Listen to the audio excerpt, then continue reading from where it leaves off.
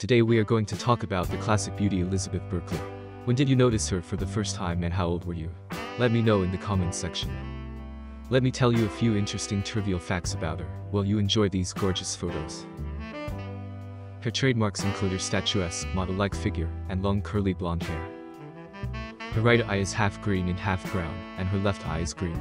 The condition is known as heterochromia. Her manager advised her not to play in Roger Dodger. Because she loved the script, she ignored him and agreed to make the film. In the aftermath of Showgirls, she obtained an English literature degree from UCLA and joined the United Talent Agency.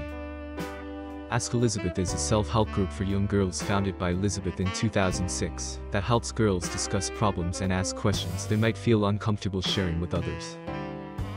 Elizabeth Berkley once said, When a dream is happening, it's unlike anything you can ever imagine. Which is why when the movie came out it was more painful than anything you can imagine. I'm not going to spend a lot of time on that moment, because why do that? We don't live in the past. I'm just bringing it up for a point to tell you that 1995 was such a different time, where taking risks like that were not embraced. They were laughed at, they were shamed, publicly. To be a young girl in the center of that was something that was quite difficult. But I found my own resiliency and my power in my confidence.